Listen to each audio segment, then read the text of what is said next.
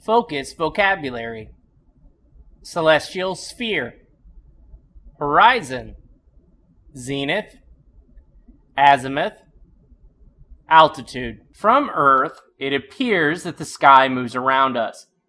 The sun rises from the east and sets in the west. The stars in the sky do this as well, moving from east to west. The word celestial is used to describe the imaginary sphere that appears to go around the earth. The celestial sphere is a model that allows us to describe the sky from our point of view here on Earth. While standing outside, you can view about one half of the celestial sphere at one time.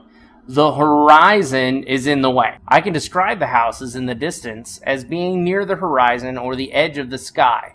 Differences in the horizon is why we build earthbound telescopes on top of mountains. Zenith is the furthest point from the horizon, which is directly above the head of the observer. On the equator, the sun will be directly above you at its zenith at noon during the fall and spring equinoxes. While using the terms horizon and zenith are great for general descriptions of the sky, they are not quite specific enough to really describe how objects appear in the celestial sphere of Earth. When you observe objects in the sky, there are two directions that can be described in detail. The first, azimuth, is the number of degrees from north in a clockwise circle along the horizon. Face north.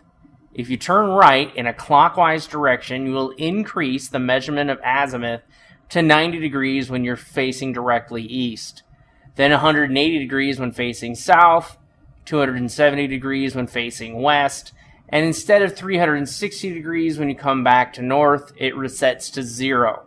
The second direction that is needed to describe an object in the sky is altitude. Altitude is how far from the horizon the object is up towards the zenith. An object on the horizon has zero degrees altitude.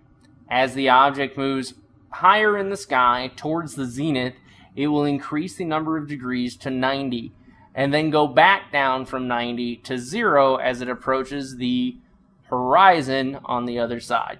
To review, say these terms when I present a situation that describes them. This will help your brain form connections and remember them. The imaginary model that we use to describe how all objects in the sky move is the celestial sphere. The edge of the earth gets in the way of viewing the entire celestial sphere because the horizon gets in the way. I can look all over the place.